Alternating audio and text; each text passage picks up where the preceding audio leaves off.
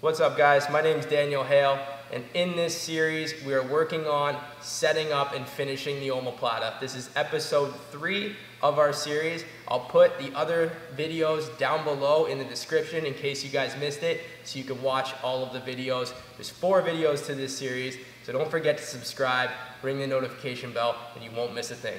Okay, so today I'm gonna show you guys now on part three how to get the sweep in this omoplata finish. So in part three, I'm gonna show you guys how to get the sweep. So maybe you guys are competing and you have 30 seconds left on the clock, you're in the omoplata, it's easier for you guys to sweep, get your points, win the match, instead of taking the time to get the finish, okay? Because if there's 30 seconds left, you might not get it.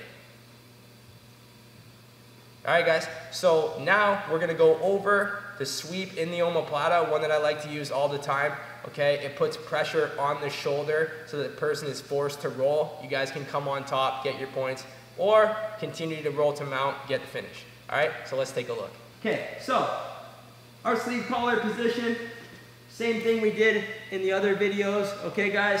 So here, Cody's gonna rotate a little bit for me. So I'm gonna go here now, I kick, I put my foot inside, I slide, kick, and I get to the omoplata. Okay? So now, I'll just get you to rotate a little bit more this way. We're in this position. Okay? I'm not letting go of Cody's collar.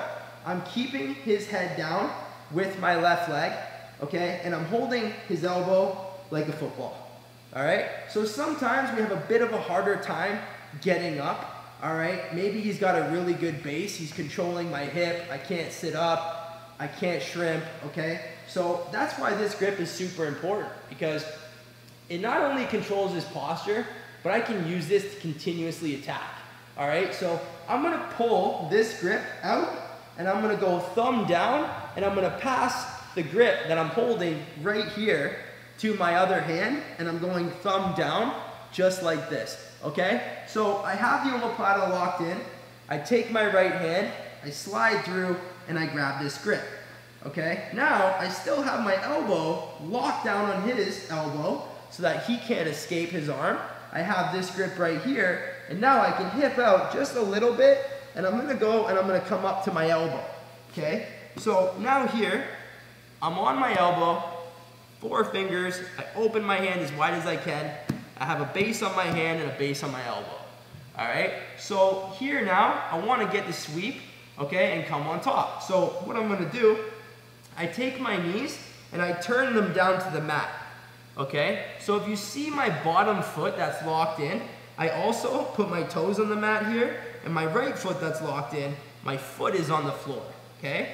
This is so that I can do a, a hip bump and sweep him over, all right?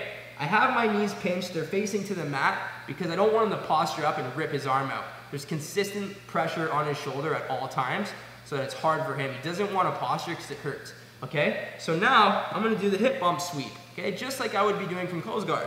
I look to the mat, I lift my body, and I hip bump, and I make Cody fall over. I go like this.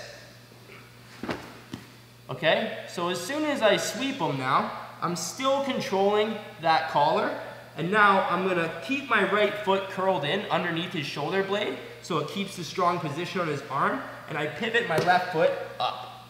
Okay, now I'm sitting on Cody's shoulder. I take my right hand off the collar and I grab right on his tricep right here. That's so he can't just do a yank out and pull his arm out, okay? So I'm pulling on Cody's tricep and I'm stepping my foot just like this, okay? Flat, knee down.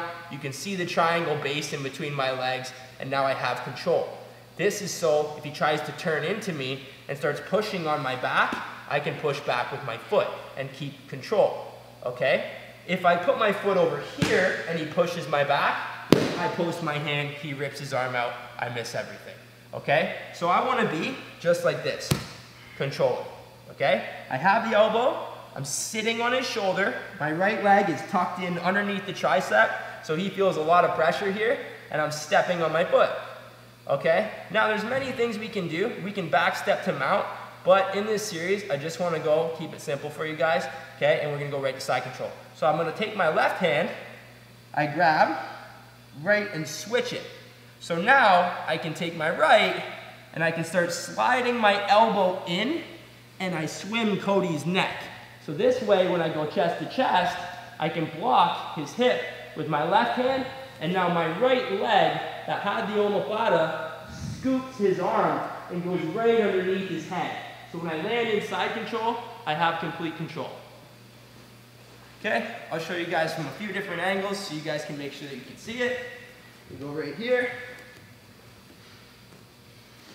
Sleeve collar, move my hip, break the grip, foot goes inside the armpit with my foot so he can't escape. Kick and pull, lock the omoplata. I control, he's gonna freak out for a second, let him get a little bit tired, monitor, don't let him jump over, control with your arm, keep his arm in, and use your calf to keep his head down. Okay? Now I take the grip, thumb down, steal it, I come up to my elbow, nice hip bump sweep, my knees are towards the mat, I throw Cody, and now, let's get your legs over there so they can see. Now I grab with my right hand on his tricep, I post my foot, switch the hand, I can either come on the inside here, block both his arms, or I take my elbow, slide behind his neck, my left hand blocks his hip, and I steal right into side control. Let's take a look from a bunch of different angles.